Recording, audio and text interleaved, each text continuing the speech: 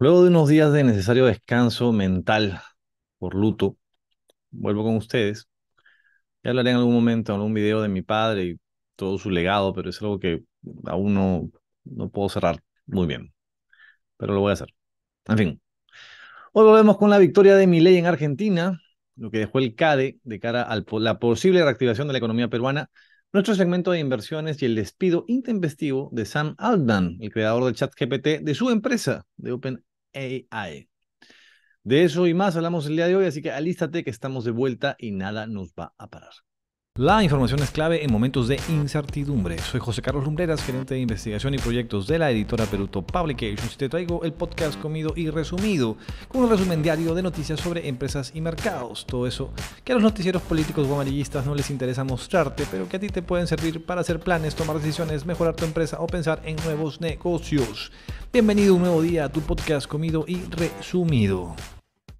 Finalmente en Argentina ganó Javier Milei todo un personaje con propuestas extremas, como hemos hablado varias veces, aunque muchas las terminara negando en la segunda vuelta y bueno, muchas que considero que al menos de manera democrática, como deben pasar por un parlamento en el que mi ley no tiene mayoría, quizás no vayan a poder ejecutarse, al menos no en el corto plazo.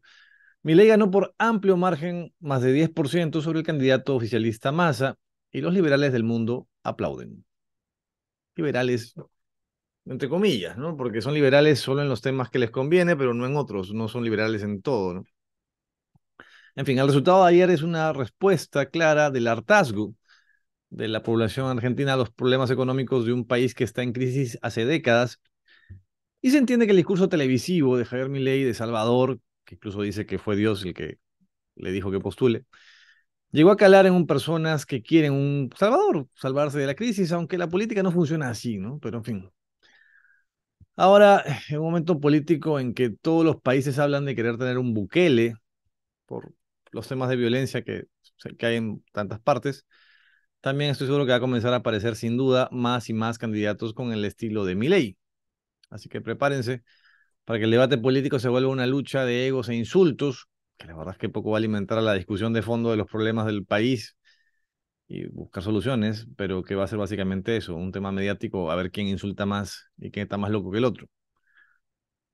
Al final esa, esa opción, que no suma ideas, lo que sí suma son votos en este mundo del espectáculo en el que vivimos. En el mundo de cobras y leones. Lo que necesitamos en realidad para resolver los problemas es más análisis y diálogo, pero eso no vende. Pensar cansa.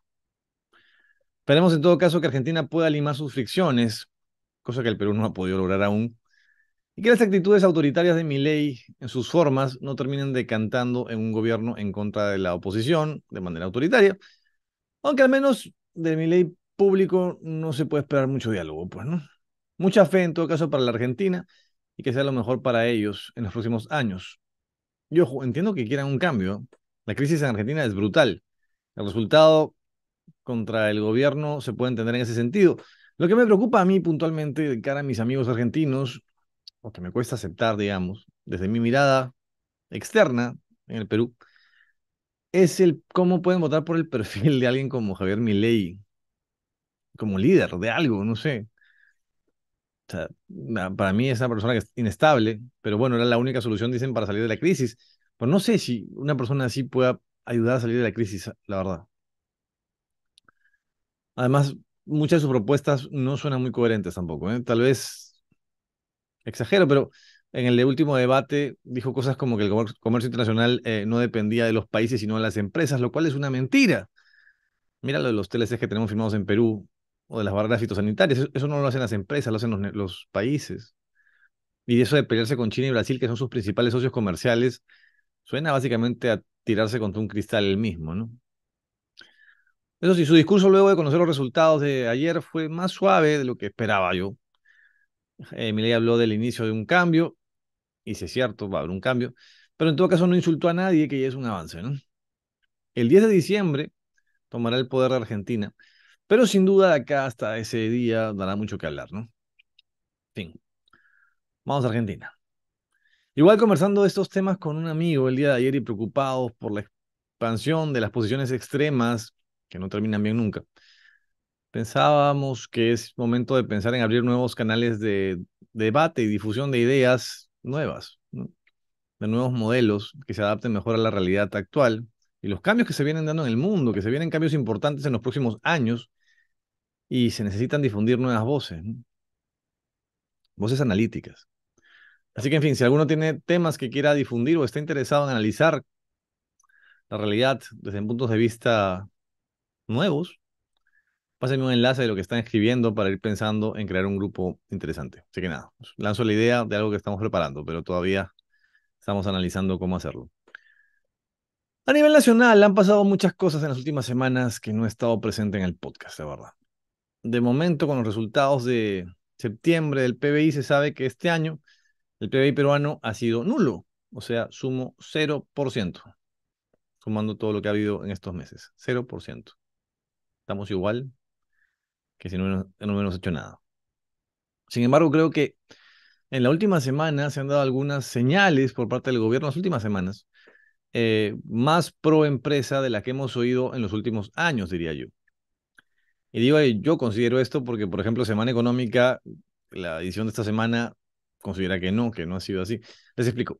Por un lado tenemos el programa de Unidos, el programa presentado por el MEF para reactivar la economía, que si bien no es una bala de plata, como dicen, sí es de los pocos planes, programas que se han presentado en el cual se incluye directamente a la gran empresa con temas como el destrave de proyectos y no solamente son temas subsidiarios. Por otro lado, Otarola claramente dijo frente a todos los empresarios en CADE que van a cogobernar juntos en los años que les queden. No Dina Boluarte, no, Otarola. No, poco. Dina estaba en APEC y Otarola decía que había que cogobernar con los empresarios. En fin. Sobre esto, bien que mal, lo cierto es que bajo el modelo actual, bajo el modelo actual, la reactivación económica solo se puede dar con inversión privada que genera a su vez una ola de efectos que ayudan a activar trabajo, consumo, créditos y otras cosas. Un tema que se ha mencionado es reducir los trámites necesarios para las inversiones, pero eso puede implicar también, ojo, flexibilizar temas ambientales y desproteger el patrimonio. Los costos, si bien pueden ser muy altos en el corto plazo por estos temas, pero por otro lado, lo cierto es que la caída de la economía sería un costo mucho más alto para la población, más aún teniendo en cuenta que se nos viene el fenómeno del niño. Ahora, claro que esta nueva actitud del gobierno será aprovechada para ajustar al gobierno. Por ello, el segundo vicepresidente de la CONFIEP, Álvaro Correa, le dijo al Premier, como parte del CADE, le dijo, abro comillas, con ustedes está regresando a una línea de confianza en la importancia de la inversión privada y el programa, el Plan Unidos, que han presentado la semana pasada es un buen programa, pero todo eso no genera, nos genera algunas dudas. Una de ellas es el nivel de convicción que tienen para ir completamente en una determinada dirección. Si bien apuestan por la inversión privada, hay algunas contradicciones, cierro comillas. Claro, por ejemplo, el tema de Petroperú les preocupa, ¿no? Que se diga que quieren la inversión privada, pero que se peleen. Porque Petroperú, una empresa que está de momento financieramente mal, quiere tomar los lotes petroleros. En fin, no hay lonche gratis, Otarola. Si tú le dices eso a los empresarios, los empresarios van a aprovechar para ajustarte el cinturón. Y bueno, en fin, eso es lo que va a pasar. Para que se reactive en todo caso la economía. Lo cierto es que muchas veces se ha hablado en los últimos años que la reactivación necesita en gran medida un impulso de la inversión privada, que ya venía hace unos años cayendo, antes de Castillo incluso, pero que con Pedro Castillo se detuvo totalmente y se fue al piso por señales erráticas del gobierno que no fueron luego rectificadas, ojo, por el gobierno de Boluarte, o sea, el mismo gobierno, pero con cambio de mando.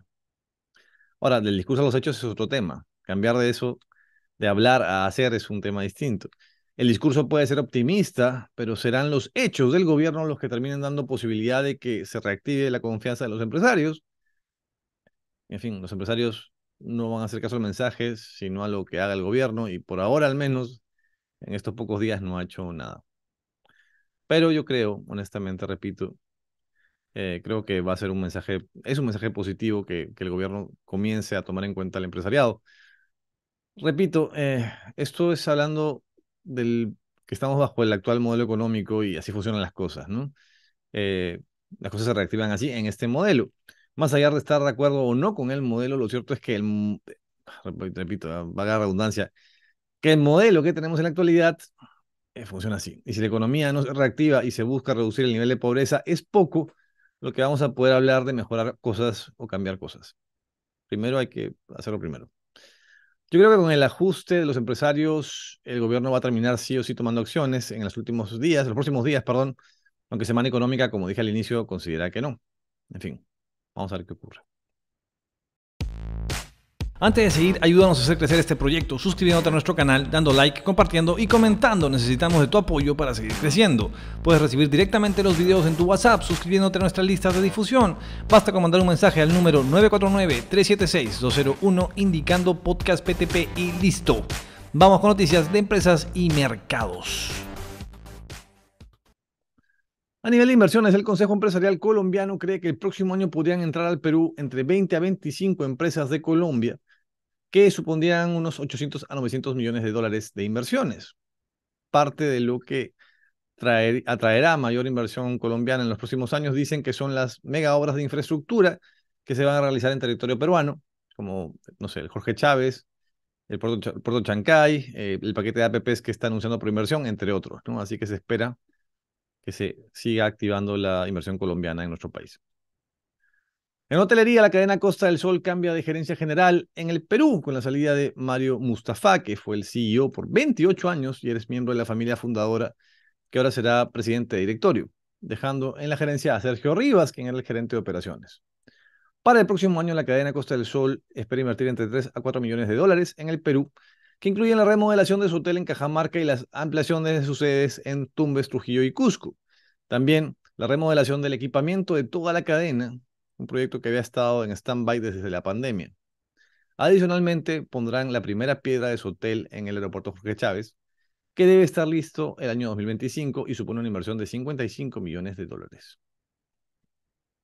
En educación, la Corporación Educativa Continental, el holding de la Universidad Continental, invertirá 170 millones de soles el próximo año para ampliar los campus de Lima, Huancayo, Cusco y Arequipa. El holding de la familia Barrios busca además tener permisos el próximo año para tener una escuela de educación superior que permita a los alumnos de su instituto, tiene un instituto además de la universidad, eh, para que puedan obtener grado de bachiller estos alumnos del instituto. La Universidad Continental viene evaluando además la posibilidad de contar con una sede en Ayacucho y otra en Puno, con una inversión de unos 15 millones de dólares, y también tienen un proyecto para expandirse a México en el 2025. Ahora que se cayó la SUNEDU, van a aparecer muchas inversiones de nuevas sedes y nuevas carreras de universidades, sin duda. Lo cual no necesariamente es bueno para la calidad, pero es lo que va a pasar. En el mercado de contact centers, la empresa Fortel va a invertir 6 millones de soles, de los cuales 2 millones van a ser para abrir nuevos locales en Colombia y en Paraguay, de algunas zonas en el sur del Perú, y 4 millones se van a utilizar para adquirir tecnología relacionada a inteligencia artificial para generar nuevos servicios en el contact center. Se calcula, ojo, como dato curioso, que el mercado de contact center en el Perú genera 700 millones de dólares anuales. En energía, la empresa Engie viene desarrollando el proyecto solar Hanak Pampa, proyecto de 300 megawatts de energía renovable de unos 250 millones de dólares de inversión en Moquegua, que ya está en las últimas etapas de desarrollo. Y también tienen el proyecto de Punta Lomitas por 300 millones de dólares, que tiene como objetivo suministrar de electricidad a la mina Quellaveco y que debe ser entregado a principios del próximo año. Cerramos hoy con una nota global sobre el despido de Sam Altman, uno de los creadores, la cabeza básicamente, del famoso chat GPT, que fue despedido el viernes de su empresa OpenAI por la junta directiva. Una noticia que sorprendió a todo mundo. Se dice que Altman fue despedido porque, querían impulsar el porque él quería impulsar el desarrollo de la inteligencia artificial mucho más agresivamente y la junta directiva no, estaban como que más calmos. Entonces decidieron votarlo. El jueves pasado, Alman recibió un mensaje pidiendo que vaya el viernes a una reunión remota donde se le informó que se le iba a despedir. Ni Microsoft, que es el principal inversionista de la empresa, estaba al tanto de esta decisión. Ahora, en los días siguientes, Alman dijo que está negociando con la junta directiva para regresar a la empresa, pero de momento no se sabe más que eso. De locos. Es loco, se hace acordar un poco a lo que le pasó a Steve Jobs con Apple. Esto fue todo por el día de hoy. Ayúdanos compartiendo, dando like, comentando y difundiendo este resumen hecho pensando en ti. No te olvides que si está en tus manos, puedes suscribirte como miembro del canal para obtener información exclusiva. Dando clic en Join o unirte, recibirás contenido de comido resumido solo para ti. Nada, ya estos días volvemos, retomamos el, la dinámica. Han sido días desordenados mentalmente, reordenando la cabeza, pero ya estamos de vuelta con muchas ganas de hacer muchas más cosas. Así que nada, tengo un gran inicio de semana. Tenemos novedades en estos días, así que atento a comido y resumido. Gracias. Y esto es data sacada de, de la SUNAT, eh, de una base de la SUNAT especial que es un poco compleja de trabajar. Eh, existen a la fecha 178 grandes empresas consultoras en el país. Bukele es el presidente con mayor aprobación de la región, con 88% de aprobación, seguido por el mexicano López Obrador, que acá no lo quieren mucho, con 76% de aprobación, el costarricense, costarricense Rodrigo Chávez de Gallup de septiembre. Dina quiere un viaje nuevo y el Congreso lo va a autorizar. Dina quiere ver al Papa y en su foto lo asustará. Nadie puede negar que el país está en crisis, en una burbuja el gobierno está.